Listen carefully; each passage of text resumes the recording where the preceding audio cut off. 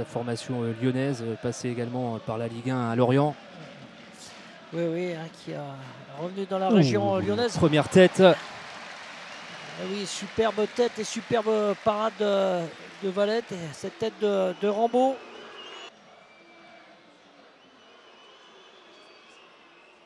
Premier poteau et c'est le but. L'ouverture du score. par euh, Rambaud. L'ouverture du score pour euh, le Gaulle FC.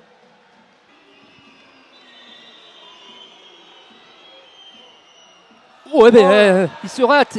Il se rate, euh, Baptiste Valette, premier poteau, elle était vicieuse. Eh oui, toute la balise de Loïc Dufaux sur ce coup de pied arrêté.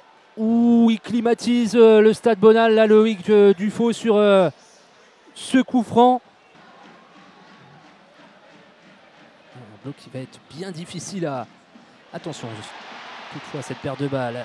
Alex Dao dans la surface de réparation, la frappe et la belle sortie. Le bel arrêt d'Erwan Dress.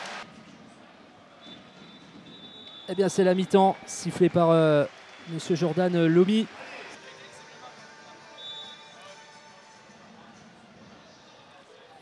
Et reprise euh, de la rencontre avec euh, bah, FC qui euh, attaque tout de suite pour pouvoir remettre euh, Ouf Oh, il y a main, oui. Eh oui, eh oui. Eh oui, tout de suite, 10 secondes. clairement la main de Dacosta décollé. Il prend un carton jaune, il est averti.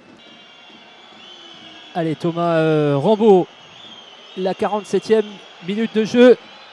Et il trompe euh, Baptiste Valette. Ça fait 3-0 pour le Gaulle FC. L'entame rêvée pour euh, les joueurs de Fabien Pujot. Et de vitesse dans le jeu et dans les courses. Ouais, ça c'est bien joué. Et le centre en retrait pour Kevin Ogas. Euh, La super parade.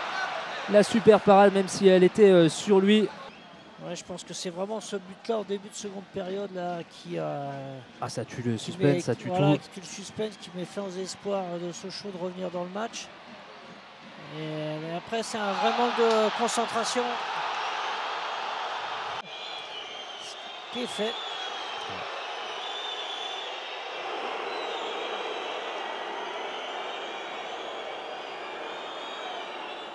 Le deuxième jaune. euh, Aïe, aïe, aïe. Aïe, aïe, aïe. C'est la, la soirée vraiment euh, cauchemardesque.